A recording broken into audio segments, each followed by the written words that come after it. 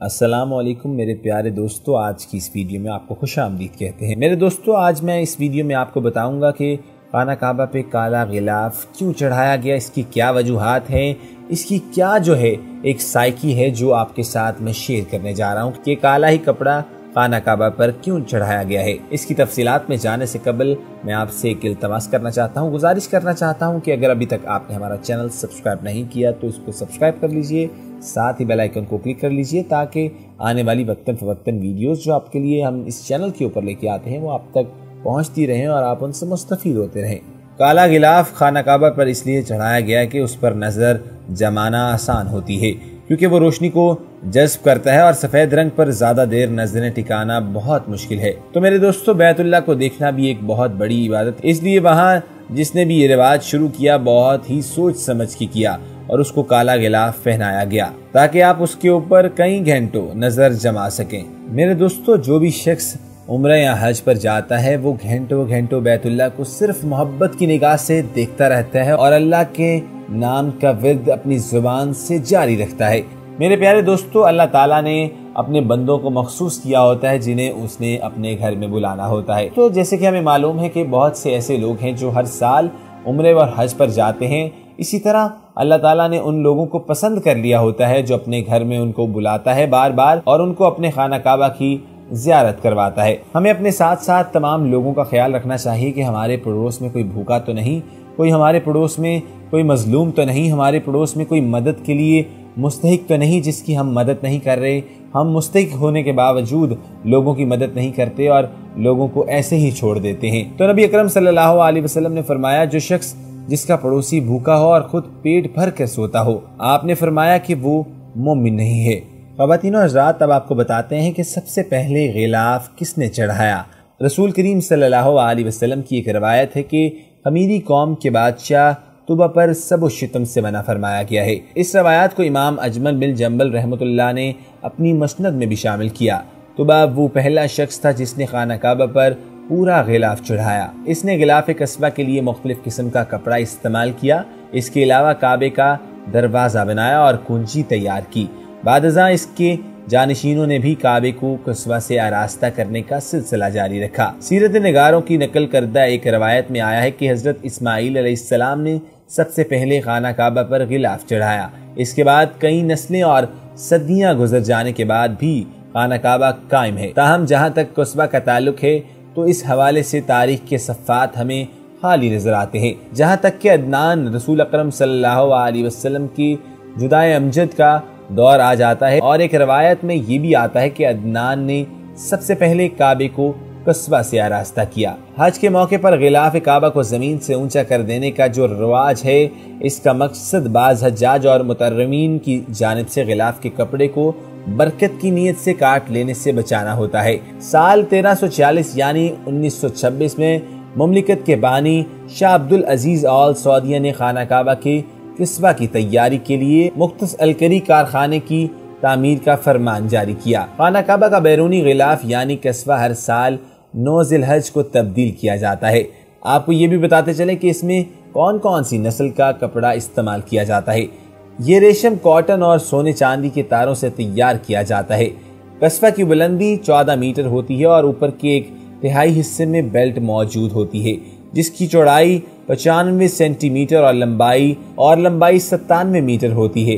Belt کے نیچے آیات قرآنی موجود ہوتی ہے۔ یہ تمام علیحدہ فرمون میں تحریر ہوتی ہے۔ درمیانی خلاؤں کے بیچ کندیل کی شکل کے اندر یا حیو یا قیوم، یا رحمانو یا رحیم، الحمدللہ رب العالمین تحریر ہوتا ہے۔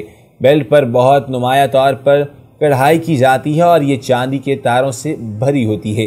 جس پر سونے کا پانی چڑھایا جاتا ہے اور پورے خانہ کعبہ کا احاطہ کرتی ہے۔ قصبہ میں کعبے کے دروازے کا پردہ بھی شامل ہوتا ہے۔ ریشم سے تیار کیا گیا یہ پردہ چھ اشاریہ پانچ میٹر بلند اور تین اشاریہ پانچ میٹر چوڑا ہوتا ہے۔ اس پر قرآنی آیات تحریر ہوتی ہیں اور اسلامی نقش و نگار منقش ہوتے ہیں۔ خانہ کعبہ کا قصبہ پانچ حصوں پر مشتمل ہوتا ہے۔ ہر حصہ کعبے کی ایک سمت کو ڈھانپ لیتا ہے۔ جبکہ پانچواں حصہ وہ پردہ ہوتا ہے جو کعبے کے دروازے پر لگایا جاتا ہے۔ ان تمام حصوں کو ایک دوسرے کے ساتھ ملایا جاتا ہے۔ توحید رسالت کی شہادت کے بعد نماز، روزہ، زکوٰۃ اور حج اسلام کے عناصر اربا ہیں۔ ایسی کئی حدیث میں جن میں رسول اکرم صلی اللہ علیہ وسلم نے ان پانچوں چیزوں کو اسلام کے ارکان اور ستون بنایا ہے۔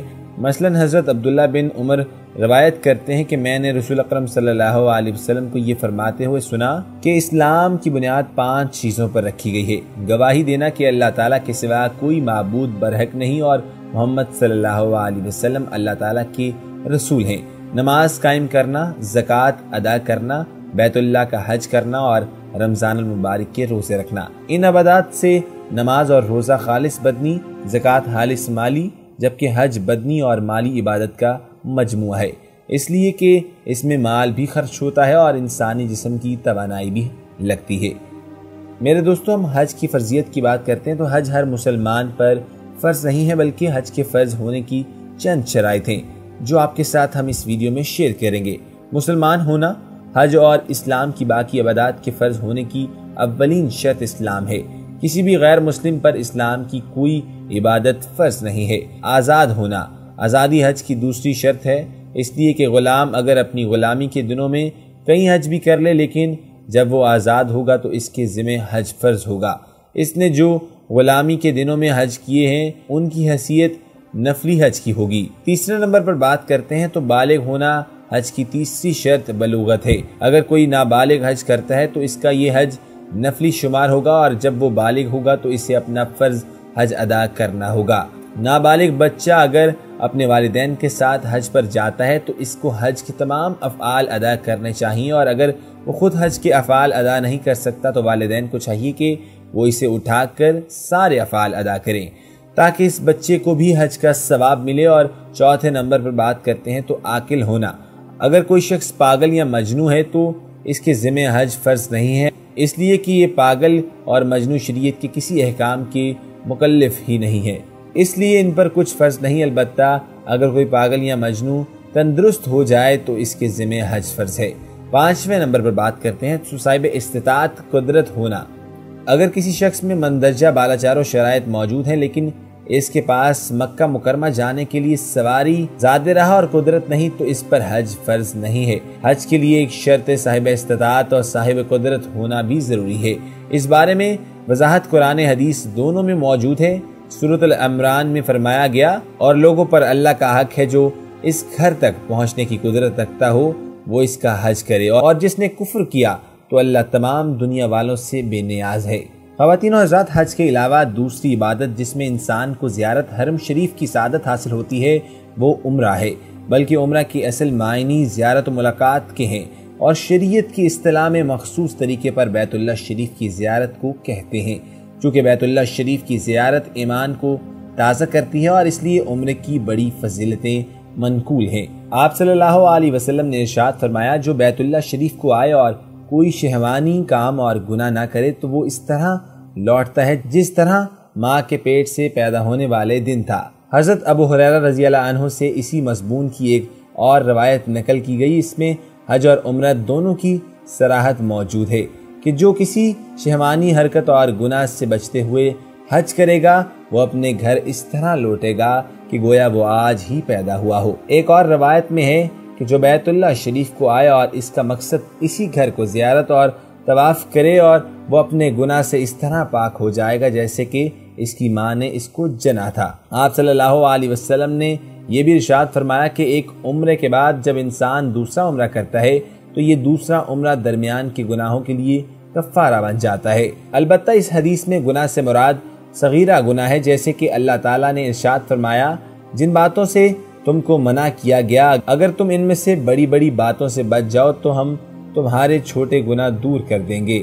حدیث سے معلوم ہوتا ہے کہ جہاں حج اور عمرہ روحانی فائدے کا باعث ہیں، اس سے گناہ معافی ہوتے ہیں اور اجر و ثواب حاصل ہوتا ہے۔ میرے پیارے دوستو، یہاں پر میں اپنی ویڈیو کا اہتمام کرتا ہوں اور آپ سے گزارش کرنا چاہتا ہوں کہ اگر آپ اپنی رائے کا اظہار کرنا چاہتے ہیں تو ہمارے کومنٹ سیکشن میں آپ اپنی رائے کا اظہار بھی کر سکتے ہیں۔ اور آپ کو میں یہ بھی کہنا چاہتا ہوں کہ اگر آپ نے ہمارا چینل ابھی تک سبسکرائب نہیں کیا تو اس کو سبسکرائب کر لیجیے، ساتھ ہی بیل آئیکن کو کلک کر لیجیے تاکہ آنے والی وقتاً فوقتاً ویڈیوز جو ہم آپ کے لیے اس چینل کے اوپر لے کے آتے ہیں، وہ آپ تک موصول ہوتی رہیں اور آپ ان سے مستفید ہوتے رہیں۔ اللہ حافظ۔